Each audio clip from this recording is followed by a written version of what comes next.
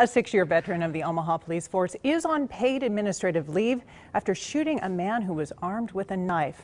Angela Lyden filed a single shot wounding Dale Hickman yesterday morning. Now he's accused of stabbing both his father and his sister. His sister says police came and took her brother away to check him in for a mental evaluation after a separate incident. And just hours later, he was back, still in hospital clothes and armed with a knife.